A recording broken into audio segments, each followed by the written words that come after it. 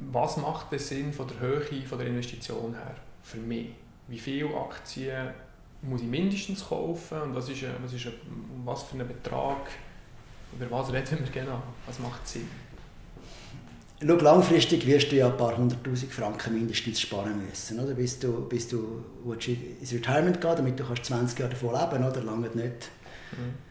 Oder weniger als, eigentlich sind wir im siebenstelligen Bereich, dass man muss sparen muss, mhm. oder? über die 30 Jahre in der Schweiz. Ähm, aber am Anfang musst du ja noch nicht gerade Vollgas geben. Die meisten Leute sparen am meisten zwischen 40 und 60, sogar 50 und 65. Dort wird eigentlich wirklich richtig gespart.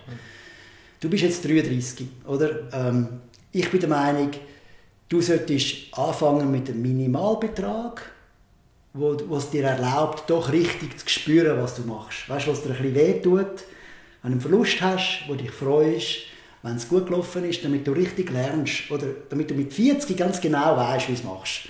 Mhm. Du musst ja die Erfahrung selber sammeln. Du musst schlechte, gute Erfahrungen machen, du musst die Erfahrung sammeln. Und ich würde jetzt sagen, ein guter Betrag ist, du schaust das einmal im Quartal an, weil du hast ja viel mehr zu tun da, oder? Du hast ja Arbeit mit deinen Patienten, du schaust es einmal im, im Quartal an, du investierst zwei Stunden, nicht mehr im Quartal, mhm. und du entscheidest dich, 2000 Franken anzulegen in eine bestimmte Firma.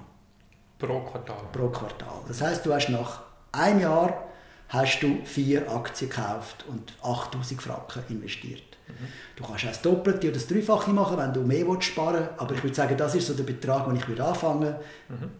äh, am Anfang, um, um im Prinzip das Erfahrungen, genau, Erfahrungen zu sammeln zu den Aktien und, und, und wie das alles funktioniert. Mhm. Okay.